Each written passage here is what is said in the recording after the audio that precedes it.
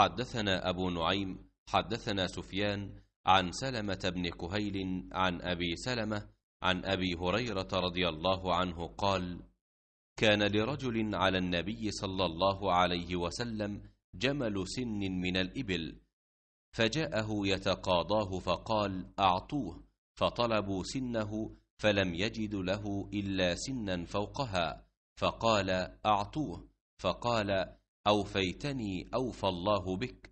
قال النبي صلى الله عليه وسلم إن خياركم أحسنكم قضاء.